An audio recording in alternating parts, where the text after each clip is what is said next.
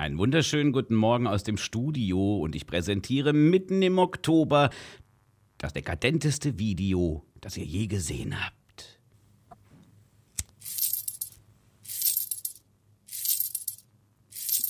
So. Hm.